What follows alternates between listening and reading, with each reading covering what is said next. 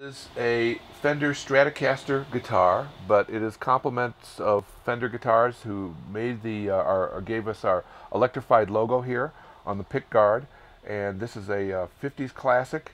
It's a just a wonderful promotional guitar. We're going to have four of them, and uh, very limited edition, but it's a wonderful electric guitar.